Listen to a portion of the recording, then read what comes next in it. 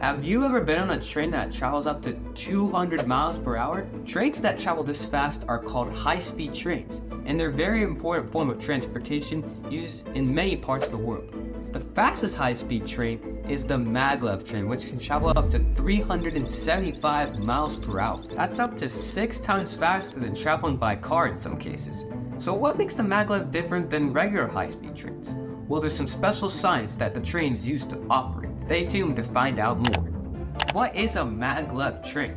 Well, the word maglev stands for magnetic levitation. But what exactly is magnetic levitation? Instead of wheels, maglev trains use powerful electromagnets to create a repulsive force that levitates a train about 1 to 2 inches above the track. To assist with levitation, a guideway is placed on the side of the tracks with the electromagnets that helps the train stability and prevent derailment. This technology eliminates friction between the train and the track, allowing the maglev trains to reach even higher speeds than conventional trains because of the force of friction does not slow it down.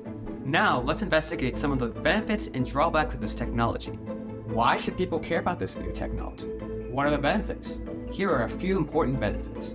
One of the major benefits of maglev trains is reduced travel time. Because of the increased speeds, travel time can drastically be reduced, and people can more quickly get from city to city. Another benefit is a smooth ride. The contactless levitation eliminates friction and wheel noise, resulting in an incredibly smooth and comfortable ride for passengers. Another benefit is the quiet operation. With no wheels or rolling components, maglev trains are much quieter than traditional trains, minimizing noise pollution for passengers and surrounding communities near the track. And finally, it's more environmentally friendly.